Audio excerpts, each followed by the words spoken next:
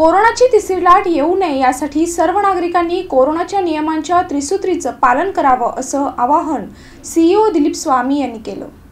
सोलापूर शहर आणि जिल्ह्यात लॉकडाऊन शिथिलीकरणास मंजुरी दिल्यानं सर्वच आस्थापना नागरिक आणि व्यापाऱ्यांनी सुटकेचा एकच निश्वास सोडलाय.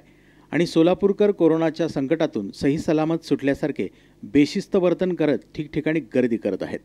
दरम्यान तिसऱ्या लाटेचा धोका अद्यापही कायम आहे. शहर आणि जिल्ह्यातील नागरिकांनी कोरोनाच्या त्रिसूत्रीचा अर्थात सामाजिक अंतर सॅनिटायझर आणि मास्कचा वापर करावा जेणेकरून कोरोनाच्या तिसऱ्या लाटेचा धोका उद्भवणार नाही असं आवाहन सोलापूर जिल्हा परिषदेचे मुख्य कार्यकारी अधिकारी दिलीप स्वामी यांनी समस्त नागरिकांना केलं आहे.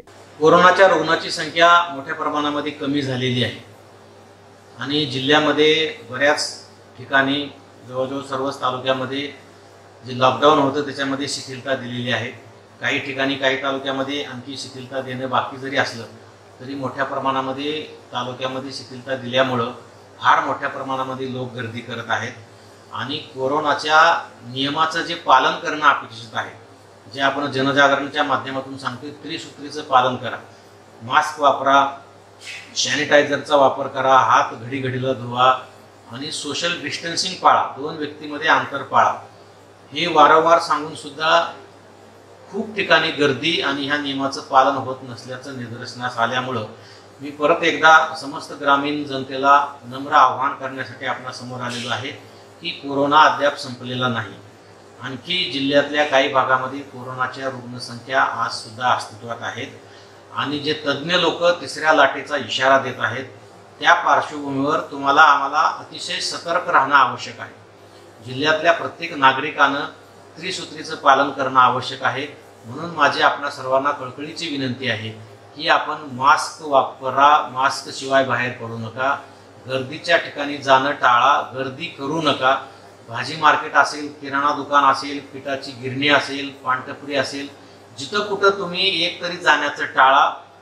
कोरोनाच्या दुसऱ्या लाटेत अनेक नागरिकांचा बळी गेल्याच्या पार्श्वभूमीवर तसंच लहान मुलांच्या आरोग्य विषयक सोयीसुविधांच्या बाबत योग्य तयारी आणि काळजी प्रशासनाने घेतली असून शहरवासी आणि जिल्हावासियांनी सहकार्य करून कोरोनाला दूर ठेवावं असं आवाहन सीईओ दिलीप स्वामी यांनी केलं आहे. आणि जाणं आवश्यक असेल तर गर्दी करू नका. दोन व्यक्तीमध्ये सोशल डिस्टन्सिंग पाळा पुरेसा अंतर ठेवा.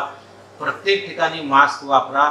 स्वतः कुठलेही गर्दी होणारे कार्यक्रम आयोजित करू नका किंवा ज्या ठिकाणी गर्दी होणार आहे असं वाटतं त्या ठिकाणी तुम्ही स्वतः जाणं टाळा. स्वतःच्या जीवापेक्षा स्वतःच्या आरोग्यापेक्षा कुठलंही काम कुठलाही कार्यक्रम हा महत्त्वाचा नाही आहे याची कृपया आपण सर्वांनी जाणं ठेवा. लहान मुलांच्या आरोग्याची तपासणी आपण पूर्ण जिल्हाभर करतो आहोत. पण आता लहान मुलांची काळजी घेणं ह्या त्यांच्या आईवडिलांच्या हातामध्ये आहे. लहान मुलांच्या संदर्भामध्ये सुद्धा जे डॉक्टर मार्गदर्शन करत आहे त्याचं पालन करा. लहान मुलांना गर्दीमध्ये जाऊ देऊ नका. तुम्ही बाहेर गेला असाल तर बाहेरून आल्याबरोबर लहान मुलांना जवळ घेऊ नका. ह्या छोट्या छोट्या गोष्टी ज्या आम्ही वैद्यकीय अधिकाऱ्यांच्या मार्फत आपल्याला सांगतो आहोत त्याचं तंतोतंत पालन करायचं जबाबदारी आपल्या सर्वावर आहे.